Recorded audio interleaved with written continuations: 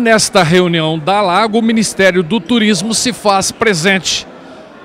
Ana Moura, que prazer conhecê-la, falar contigo. O turismo é muito importante, é uma mola importante na nossa economia, uma mola mestra, poderíamos dizer assim, na nossa região.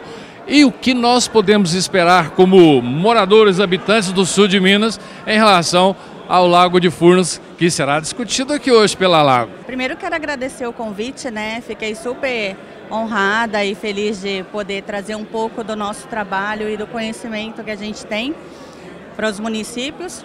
O que o Ministério vem trabalhando é um, são programas de incentivo e de apoio né, para desenvolvimento do turismo pelas cidades, tanto pelo setor público como setor privado.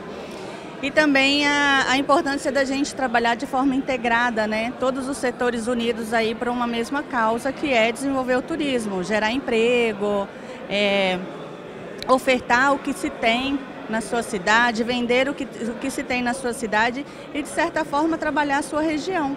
Né? Então, o que a gente vem trazendo e é, levando né, para o Brasil são conhecimentos técnicos, né, para que as cidades possam estar tá aí buscando seus apoios por meio de recursos, financiamentos junto ao governo federal para desenvolver o turismo.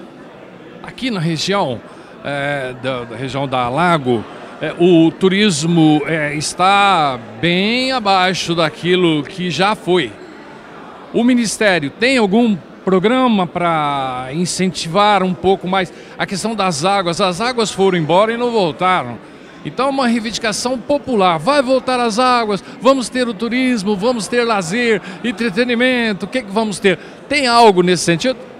Então, com relação às águas, né, é um assunto que eu venho, eu vim ouvindo até mesmo pelo motorista que me trouxe.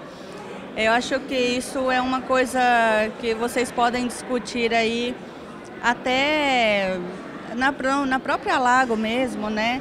O, assim, com relação ao Ministério do Turismo, o que a gente vem trazendo são de fato os mecanismos de apoio para desenvolver o turismo, né? E aí não especificamente a água em si, mas os atrativos, é, o que, que a gente pode fazer para atrair mais turistas, o que, que a gente pode fazer para fazer com que o turista fique mais tempo na região, né? não especificamente num único município, mas em todos que ele tiver conhecimento do, do que se tem para ofertar. Então a ideia é, é, é essa. Os programas eu vou apresentar daqui um pouco, né?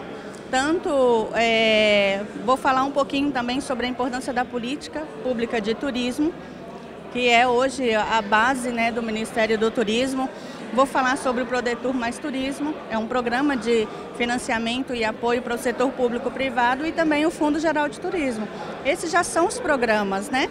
Fora os mecanismos de apoio do governo federal, que é por meio de recursos de programação ou até mesmo emenda parlamentar. Então, as cidades têm, têm mecanismos de, de busca, né, para se buscar apoio para se desenvolver o turismo, que acaba envolvendo é, o desenvolvimento local, até mesmo da, da população local da cidade, né? Não só turistas de outros lugares ou da região, de outros estados, mas isso beneficia a própria população local.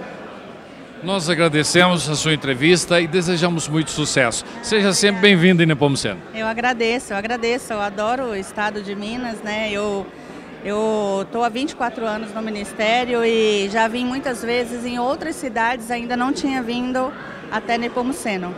Né? Espero que todos tenham um bom proveito da palestra, que possam aproveitar desse momento para a gente, de fato, mostrar a importância do turismo, né? não só em Nepomuceno, mas em toda a região da Lago.